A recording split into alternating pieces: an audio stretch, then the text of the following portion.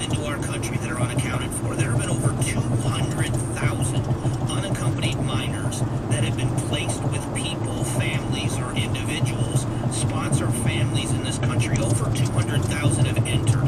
85,000 have gone to sponsor families that are unaccounted for. We don't know where they are.